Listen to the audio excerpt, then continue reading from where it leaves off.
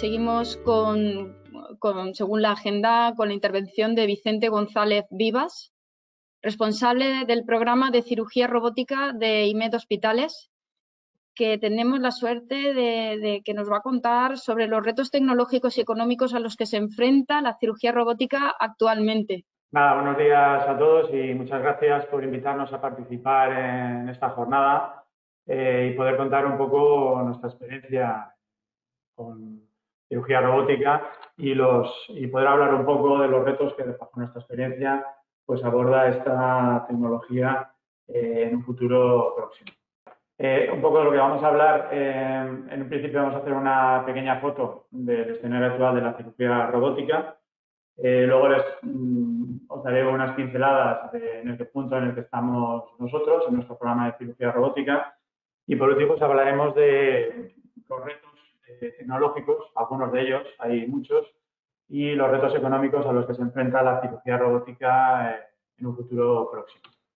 Eh, bueno, actualmente solamente hay una plataforma, una plataforma de cirugía robótica con una presencia significativa a nivel mundial, que es la plataforma de Intuitive, la plataforma Da Vinci, que lleva más de 20 años de monopolio y está sola, ha estado durante todo este tiempo pues sola en el mercado, no ha tenido ningún tipo de competencia. Es una plataforma eh, cerrada, eh, pues, eh, con, unos altos costes de adquisición, con, un fungible esclavo y con unos contratos de mantenimiento elevados que hacían que un poco que, bueno, pues el que quisiera tener cirugía robótica o poder hacer cirugía robótica, pues tenía que, solamente tenía una alternativa. Actualmente estamos ya en la cuarta generación de, plataforma de equipos Da Vinci. Esta plataforma está muy respaldada ya hoy en día con más de 21.000 artículos científicos relacionados. Hay más de 4.000 robots ya instalados en el mundo y en España eh, más de 70 hospitales ya cuentan con programa de cirugía robótica.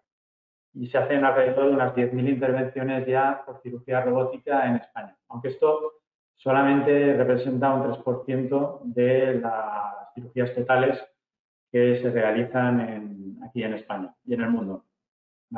Em, nuestro programa de cirugía robótica arrancó en el 2017, llevamos ya cuatro años eh, desarrollándolo. A fechas de datos de septiembre, pues eh, llevamos 183 eh, cirugías robóticas realizadas.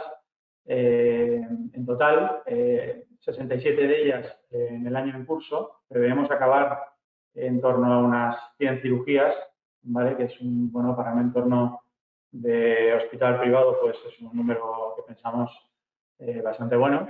Tenemos seis equipos de cirujanos acreditados en las especialidades de urología, cirugía general y ginecología. En concreto, cuatro, cuatro equipos en urología y un equipo en cirugía general y otro en ginecología. Y nuestro escenario de trabajo es, eh, bueno, nosotros somos un hospital privado, y trabajamos con pacientes, lógicamente, de pago privado y con acuerdos que tenemos con compañías de, salud.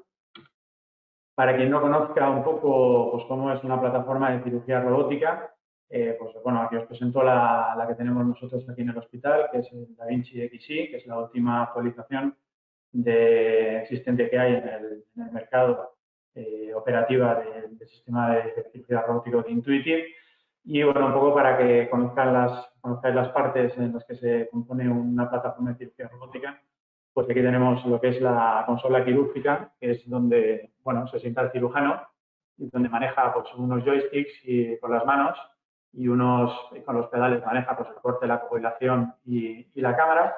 Aquí en medio tenemos lo que es el cerebro del, del equipo, lo que llamamos la torre de visión o torre de la paroscopia, que es la unidad que procesa toda la información o todas las comunicaciones entre las diferentes partes del equipo.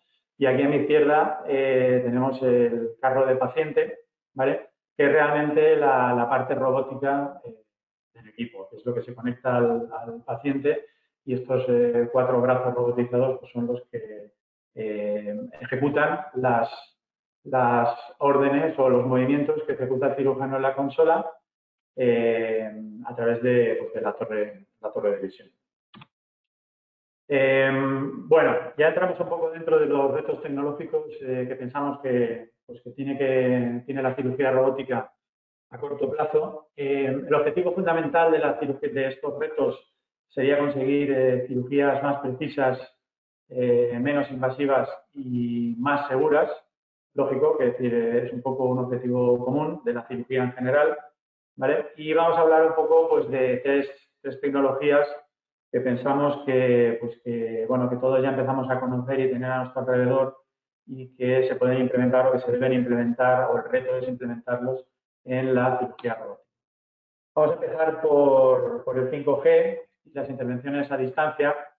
A ver, la cirugía robótica, uno de los motivos de, del desarrollo de la cirugía robótica, eh, bueno, nació por la necesidad o la inquietud de que tenía eh, la NASA y el Ejército de Estados Unidos por realizar intervenciones a distancia, desarrollar equipos eh, o, carros de pacientes robotizados que permitieran estar en zonas de guerra o en la estación espacial y que el cirujano eh, pudiera, eh, pudiera operar pues desde, Estados Unidos a un paciente, como digo, pues en una zona de guerra o, o en la estación espacial.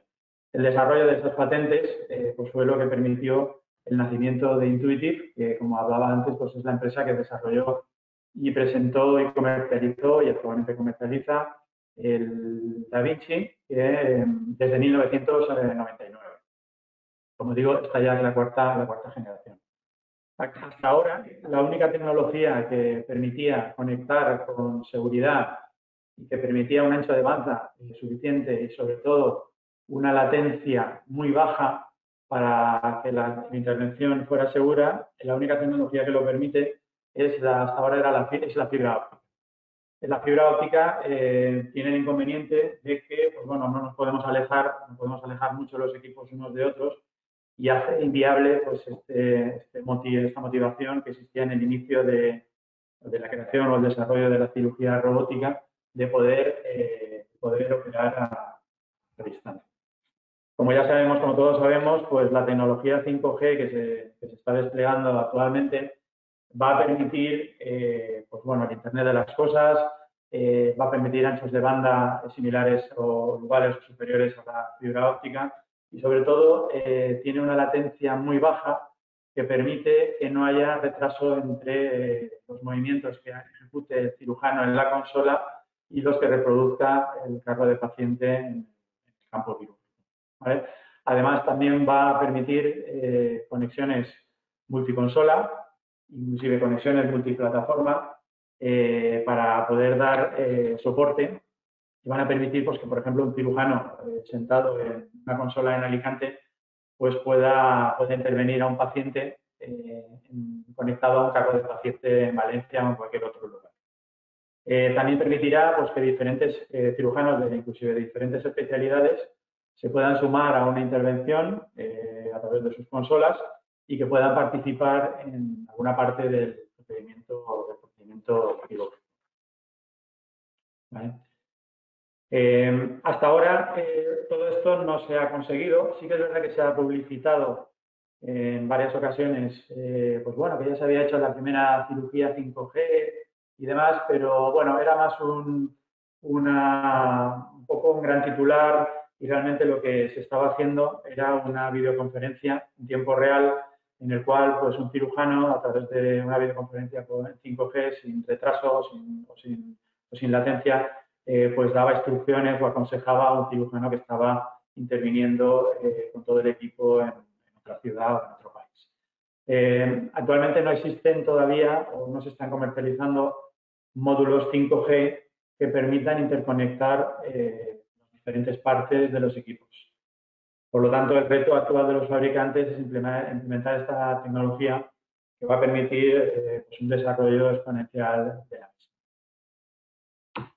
Eh, otra de las tecnologías que pensamos que puede ser, eh, y de hecho se está empezando ya a implementar en la cirugía robótica, es la realidad aumentada.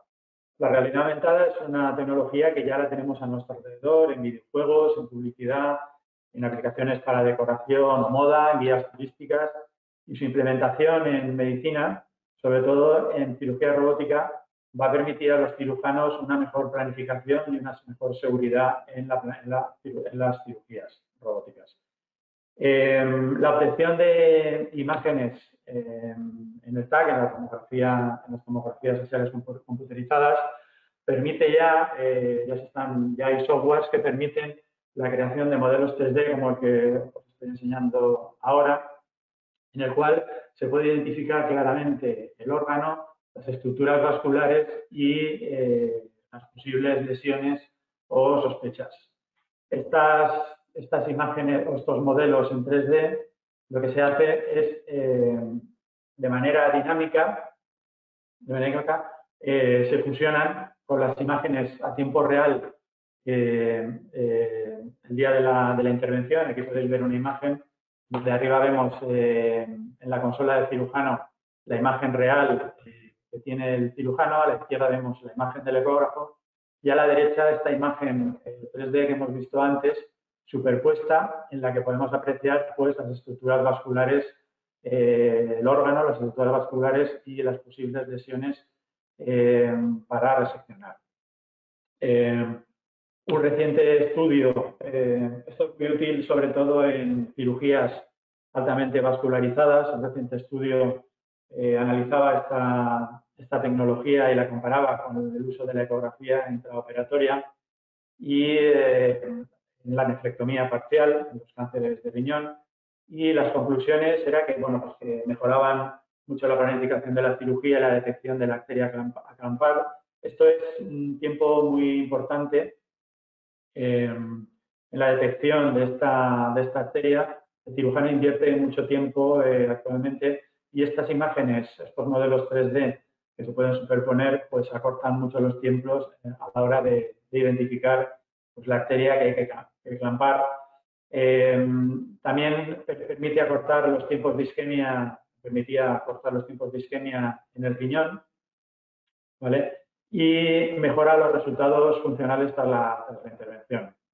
Al poder identificar claramente el tumor y las estructuras intraparenquimosas para preservar al máximo el tejido sano del paciente y poder hacer luego una reconstrucción y evitar así el, lo que es las nefectomías, al máximo las nefectomías eh, totales.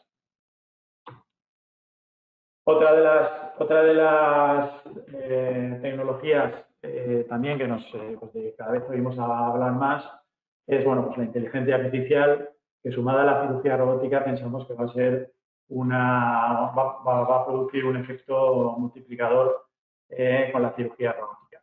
el análisis de todos los datos de todos los robots, eh, este Big Data, eh, de todos los robots que están operando en el mundo y los miles de intervenciones que se pueden hacer, van a, permitir el desarrollo de algoritmos de inteligencia artificial que aplicados a la cirugía robótica nos van a ayudar a automatizar y agilizar procesos clínicos, los que no estén todavía eh, automatizados.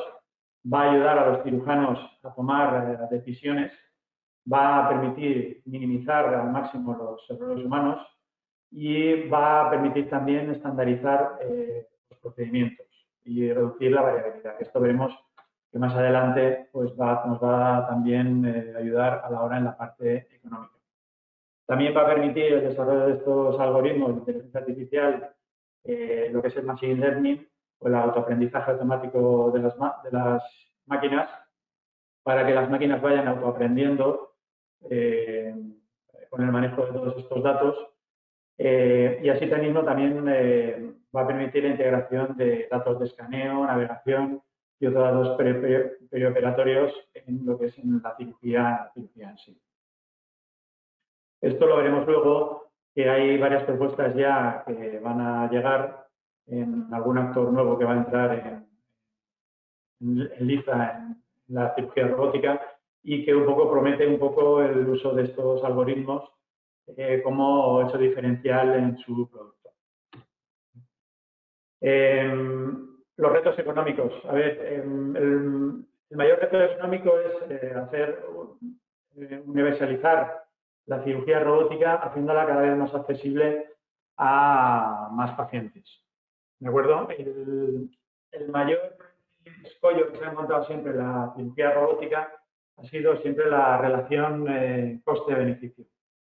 Todos los estudios que analizaban la posibilidad de implementación de esta tecnología en hospitales públicos y privados, pues sobre todo públicos, eh, siempre concluían que es una técnica segura y una técnica con resultados similares a las técnicas eh, de cirugía abierta o cirugía laparoscópica, pero ponían en cuestión si, los, si el coste, los costes económicos de esta técnica compensaban, compensaban la, los, perdón, los beneficios, los beneficios directos de esta técnica compensaban los, altos costes eh, que tenía esta, esta, técnica.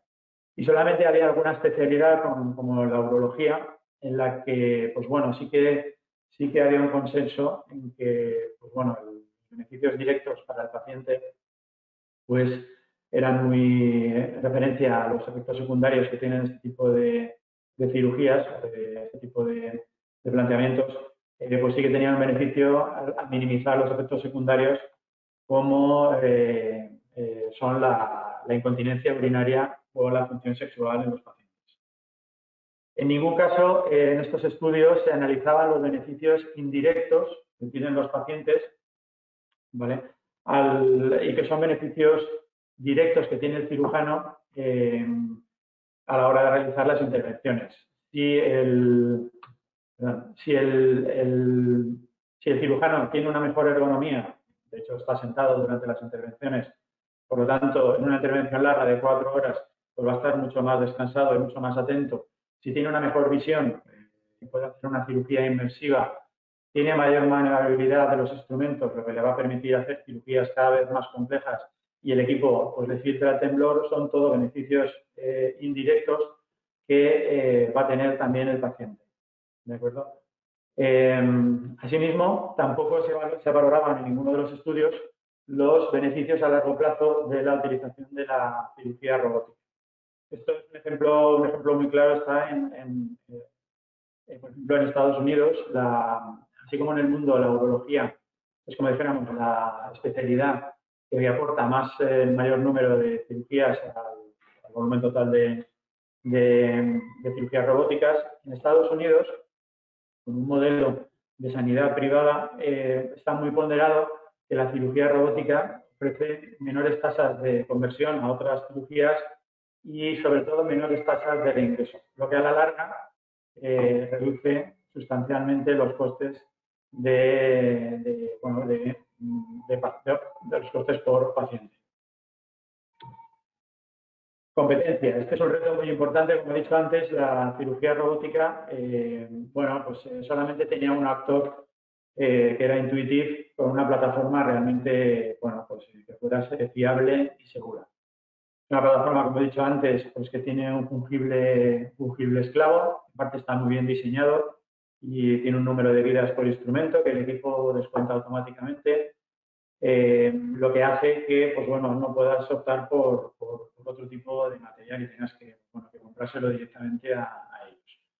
Eh, tiene un alto coste, o hasta ahora tiene un alto coste de inversión inicial. Eh, adquirir una plataforma de cirugía robótica Da Vinci pues, pues puede rondar, para que tengáis una idea, pues alrededor de los 2 millones de euros. Y también tiene un alto coste de mantenimiento. Vale, la entrada, esta, esta, falta de competencia ha hecho pues, bueno, durante 20 años eh, pues de Intuitive ha sido el amo y señor de esta, tecnología y no ha tenido competencia, lo cual no no ha tenido necesidad pues de, pues, ni de bajar precios, ni de hacer compatibilidades, ni y ha podido mantener su modelo de negocio de plataforma cerrada. en breve van a entrar nuevos actores que van a cambiar todo el panorama eh, de la cirugía robótica a nivel mundial. Eh, va ya, está, ya está implementando, implementando su robot tubo. inminentemente va a haber un despliegue muy importante en muchos hospitales. Eh, a corto plazo hay una plataforma que se está desarrollando en Inglaterra, la plataforma Versius de CRM, que también va, se va a empezar a comercializar. Y hay un proyecto muy interesante de Google y Johnson Johnson que va a aportar todos los, todos los, todos los avances en inteligencia artificial que hemos comentado anteriormente, los va a implementar en un equipo robótico que, pues bueno, también eh, se prevé que vaya a ser una, una revolución eh, y que va a mover un poco el, es el mercado actual de la cirugía robótica. Em, nuevos modelos de adquisición de la tecnología. Bueno, em, actualmente hay una carrera eh, por posicionarse, pues posicionar eh, la cirugía robótica en la sanidad pública. La entrada, como digo, de nuevos actores, como Medtronic sobre todo, ya es inminente, ha hecho que Intuitive eh, pues, empiece a, entrar en otros modelos de adquisición de la tecnología para evitar estas barreras de entrada, estos, estas barreras o estos altos costes de adquisición y las comunidades autónomas están eh, metiendo, eh, pues están metiéndose de lleno en este, este, este, asunto. De hecho, por ejemplo, Galicia hace poco pues, ha adquirido siete equipos cirugía robótica, Canarias ha adquirido cuatro equipos, Murcia, el mes de septiembre, ha puesto en marcha dos equipos y prevé la incorporación de dos equipos más. Y la Comunidad Valenciana eh, se prevé, todavía no hay, no hay, depende de con quién hables, pues te dice una cosa u otra, pero se prevé la adquisición de entre cuatro y seis equipos de cirugía robótica, sobre todo para los hospitales de referencia de cada una de. Como digo, la entrada de Medtronic ha hecho que un poco que Intuitive eh, pues un poco relaje o, modere las, exigencias para adquirir la, tecnología y, eh, y entre un poco también en el modelo Medtronic, que ha hecho famoso Medtronic, que es el modelo de adquisición por cesión por consumo. Esto supone que, bueno, pues que el robot la tecnología que se quiera implantar pues eh, no va a tener coste de adquisición o este coste va a ser muy reducido, por lo cual la inversión inicial pues, eh, pues se reduce muchísimo y lo que hacen es repercutir el coste en el fungible eh, a largo plazo. Eh, sí que es verdad que se establecen unos consumos de consumo anual y, bueno, pues en la jugada siempre entran otros suministros eh, del hospital. Esto, este modelo es el que ha llevado, como digo, a Intuitive un poco a relajar y que haya, le haya posibilitado pues, hacer este despliegue que ha hecho en Galicia, en Canarias y en Murcia y que, bueno, en la comunidad valenciana vamos a ver porque, como digo, el desembarco de Medtronic pues va a suponer que esto pues ya no va a haber una, no, va a existir la posibilidad de una compra directa como en otras comunidades y todo va a eh, se va a tener que hacer a través de un concurso. Luego otro de los retos importantes que tiene a nivel económico la cirugía robótica es la posibilidad de actualizarse, eh, la actualización continua eh, y evitar así el mayor, mayor tiempo posible la obsolescencia programada de los equipos. Hasta ahora, pues, eh, los equipos de cirugía robótica Da Vinci, pues eh, actualmente aproximadamente duraban unos 4 o 5 años y la siguiente generación pues no era compatible para nada con la generación anterior, lo cual suponía una nueva inversión con un alto coste de adquisición y una renovación total del equipo. Eh, como digo, la entrada del, del robot Hugo de Medtronic, con su una que tiene una, como veis aquí, está aquí a la derecha, tiene una configuración eh, modular en la cual, eh, pues bueno, la configuración sigue siendo la misma, hay una consola, en este caso es una consola abierta, no es una consola cerrada, como en el DaVinci, tiene una torre de visión igual que el DaVinci y la novedad que ofrece es que los brazos robóticos son modulares, son independientes. Se puede adquirir uno, dos, tres o cuatro brazos robóticos y eh, este uso modular eh, pues también va a permitir abaratar costes. En la parte, en, el contraataque un poco de, de, Intuitive, a través de la plataforma DaVinci va a ser bueno, pues la implementación de lo que es el DaVinci Single Port, que esto también va a ser una revolución, eh, ya que, eh, como vemos aquí en la foto de, de la derecha, pues va a permitir por un único puerto introducir la cámara y tres instrumentos, lo cual la, cirugía, la cirugía mínimamente invasiva va a dar un salto cualitativo muy importante. Y además va a ser compatible, eh, solamente va a hacer falta comprar, invertir en el carro del paciente y va a ser compatible con el resto de, elementos que veíamos anteriormente con la torre de visión y con la consola de cirujano. Bueno, y por último, pues al final todo esto que hemos hablado, lo que se tiene que, el reto es eh, al final reducir los costes eh, por cirugía. Esto se va a poder producir, como decíamos antes, eh, gracias a la estandarización de los procedimientos, reducción de la variabilidad de los pacientes y agotamiento de los costes. ¿Vale? Es muy importante que en la cirugía robótica los costes estén muy agotados para que se pueda estandarizar el procedimiento y podamos controlar el gasto. También la modularidad de uso que permita, pues eso, eh, utilizar en procedimientos sencillos, o relativamente sencillos, utilizar dos o tres brazos y en, eh, procedimientos más complejos, pues complementar con un cuarto brazo. Con lo cual, pues también vamos a ahorrar en cuanto al material. También eh, la, la, compatibilidad con instrumentos ya implantados en los hospitales. Esto es una de las promesas que, que hace Medtronic, que va a hacer, que promete pues, que su equipo sea compatible con todo el material que tiene Covidien y que pues, está ampliamente implementado o introducido ya en los hospitales. Y por último también, pues bueno, este, modelo, este modelo nuevo de negocio de cesión por consumo em, pues va a permitir que se reduzcan los costes de amortización que actualmente se están imputando en las cirugías. Y bueno, pues esto es un poco todo. Eh, lo que os quería contar.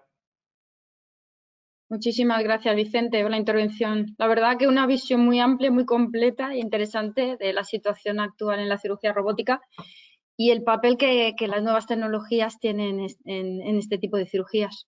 Muchísimas gracias por todo. Muchas gracias. Un saludo.